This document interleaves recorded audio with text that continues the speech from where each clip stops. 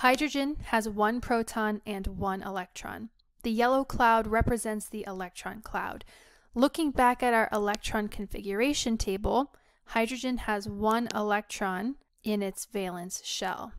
This energy shell needs two to be full, so each hydrogen needs one more electron to satisfy the octet rule.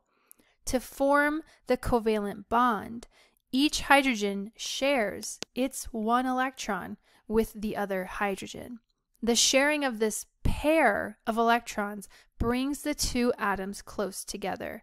The shared electrons count as part of each other's valence shell. So now each shell has two electrons, satisfying the octet rule.